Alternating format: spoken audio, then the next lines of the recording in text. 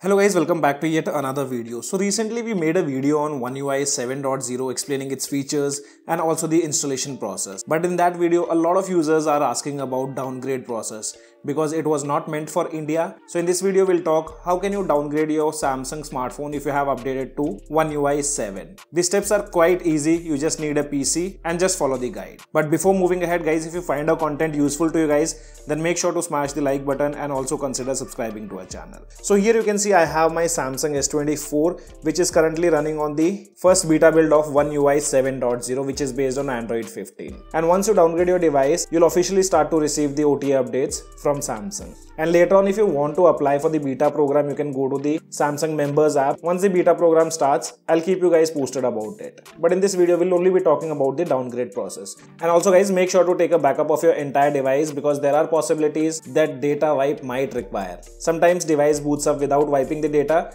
but if doesn't boot up, you need to format the data. I'll show you guys each and every step. Now first what you have to do is go to about section software information, tap on the build number 7 times until you see you are a developer now. Just allow the necessary permissions. Once done, now you'll have developer options towards the bottom side. From here you need to enable USB debugging. But you can see it's not highlighted and it says blocked by auto blocker. So go back, go to the settings and search for auto blocker and from here just disable this and you are good to go. Now just again go back to developer settings and now you'll be able to enable USB debugging. If you enable USB debugging, you might see a pop-up which says allow USB debugging. Select always allow for this computer. If you are using your personal computer, tap on allow and that's it. Now on your PC, you need few files. So here you can see these are the files. One is this tool to download the official firmware for your device. The second one is Odin to flash the file and this is the file which Frija tool will download. I'll tell you guys how it will download. First what you have to do is just unzip these files which we have downloaded starting off with the Frija tool. Once you have unzipped the Frija tool, open it, run the file frija.exe so once you launch this program, it will ask you to install the Samsung drivers. If you see your device here, just ignore it and tap on no. And if you don't see your device here, just tap on yes. And it will take few minutes to install the Samsung USB drivers. After that, your device should be displayed here in this particular application. And after updating the drivers relaunch this tool so that it automatically detects your device. So here you can see initially you might see a pop-up again to install the drivers. Just tap on no and wait for few seconds.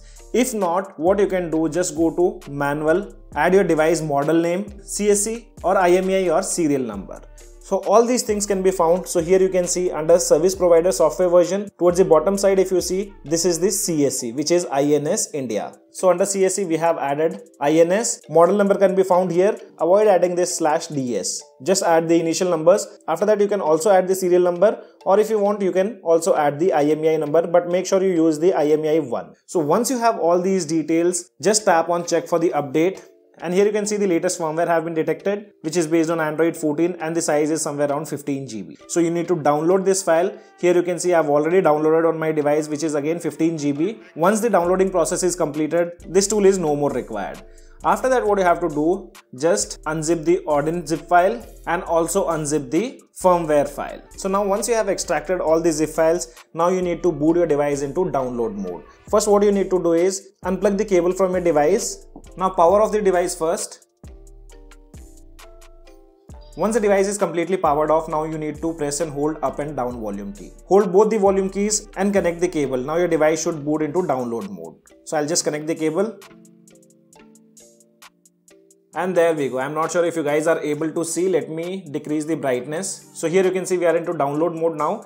And it says if you want to continue press the volume up key. So i'll press the volume up key and we are into Odin mode now. Now let's keep the device here. And on the pc we'll launch Odin. You need to launch this exe file. Double click on this and it will give you a warning like please be sure to delete your Google account, Samsung account before downloading the binary. You can ignore this warning until unless you are sure that you have downloaded the correct file. So if your device is connected in the download mode, here if you see a blue tab which shows the port and that's COM8. So that means my device is successfully added here. Now I'll select the files one by one. So first one is BL, I'll tap on it and I'll locate the firmware file. So that's on the desktop. Here you can see this is the file. First one was BL. I'll select the BL file, tap on open.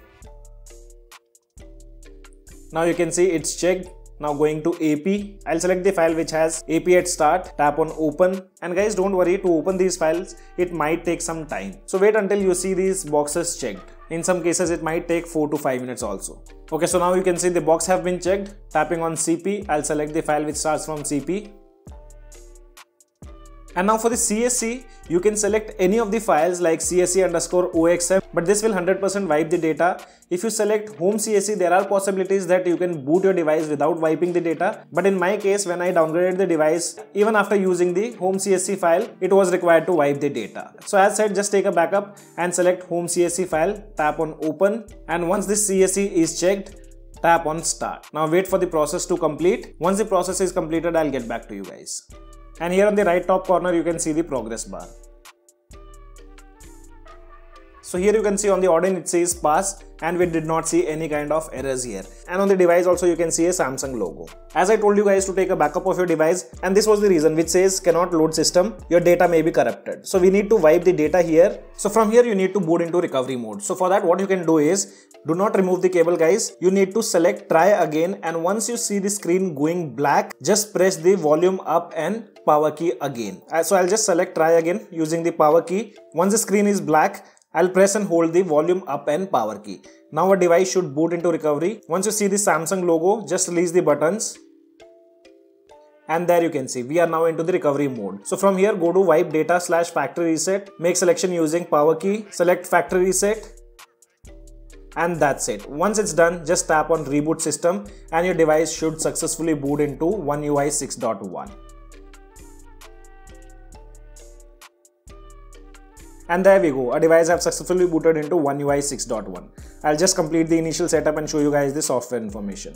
So here you can see One UI 6.1 which is based on Android 14 and we are on the November build. So guys this way you can downgrade your Samsung smartphone I mean the Samsung S24 series to One UI 6 if you have installed One UI 7 beta builds. And all the download links can be found in the description below. Meanwhile if you guys have any kind of questions drop them in the comment section below. This is your friend Ashok signing out. See you guys in the next video.